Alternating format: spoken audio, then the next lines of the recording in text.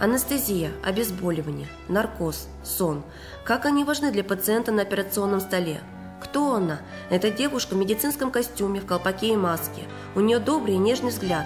Она представилась, голос звучит негромко, но убедительно. Она рассказала тебе, что сейчас будет делать, получила твои согласия, и ты уже не один со своими страхами. Ты веришь ей, на душе становится спокойней. Не волнуйся. Еще с самого начала рабочего дня она провела текущую дезинфекцию аппаратуры, проверила стерильность укладок, сроки годности препаратов, исправность всей аппаратуры. Не волнуйся. У нее все готово для общей анестезии. Собран контур, проверен аппарат ИВЛ. На стерильной пеленке разложены маски, клинки, эндотрахеальные трубки. Ларингоскоп светит лучше, чем фонарик на каске у шахтера. Не волнуйся. На ее столике есть все препараты, чтобы во время операции ты ничего не чувствовал и спокойно спал, чтобы все прошло без осложнений. Тебе ни о чем, наверное, это не скажет, но здесь анальгетики, релаксанты, гипнотики, гормоны, адреномиметики. Быстрыми, уверенными движениями она подсоединила какие-то проводки к твоему телу, надела манжету на руку. Это следящая аппаратура, по-простому монитор. Видишь, на экране побежала кривая КГ, высветился пульс, измерилось давление. А еще монитор покажет сатурацию, а если надо, бот и инвазивное АД. Не волнуйся, что она пристально смотрит на монитор и что-то записывает на бумагу. Это твоя наркозная карта. Не волнуйся, она профессионал своего дела.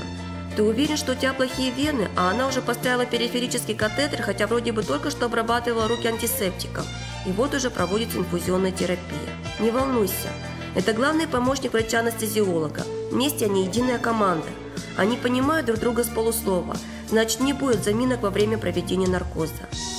Не волнуйся. Она не отойдет от тебя ни на минуту во время операции. И если что-то пойдет не так, она не растеряется, не пойдет в панику, а четко и грамотно будет выполнять назначение врача. Они сделают все, чтобы ты вышел из наркоза на самостоятельном дыхании и стабильной гемодинамикой. Но если ты очнешься в отделении реанимации, не пугайся. Значит, необходимо бдительное наблюдение и интенсивная терапия в послеоперационном периоде. Ты в надежных руках медсестер реанимации. Тебе все-таки интересно, кто эта девушка? Чуткая, добрая, внимательная, грамотная, специалист своего дела. Это медсестра. Медсестра-анестезист. Правда красиво звучит? Правда гордо звучит? Здравствуйте, я Шабалина Людмила Геннадьевна. Родилась в 1977 году в городе Кирово.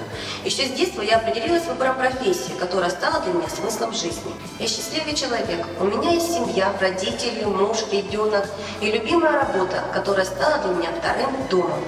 Я работаю медсестрой-анестезистом городской клинической больнице имени братьев Бахрушина города Москвы. Это одна из старейших больниц. В 2017 году ей исполнилось 130 лет.